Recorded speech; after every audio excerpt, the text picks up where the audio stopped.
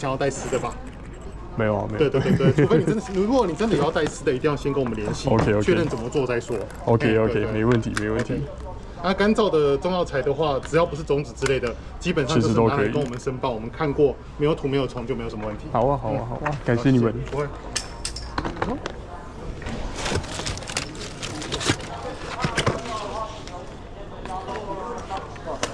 好，谢谢。